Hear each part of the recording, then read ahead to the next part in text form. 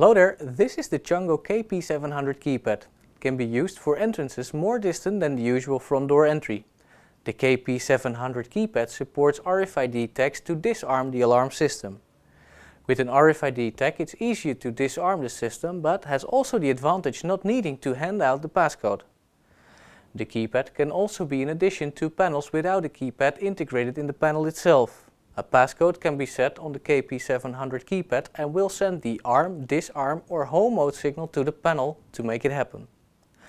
Check for more information chuango.com, your local reseller or find us on Facebook and Twitter for latest updates. Thank you for watching and see you next time.